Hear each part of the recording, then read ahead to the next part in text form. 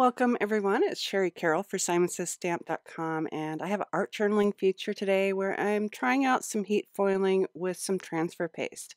This is my first time trying it and I was really pleased with the results. I have pulled out a lot of supplies that I'm just going to grab and start working with and I will have all my supplies in the description box below for you to check out. Uh, I'm going to put the rest of this to some music so I hope you enjoy and thanks for watching.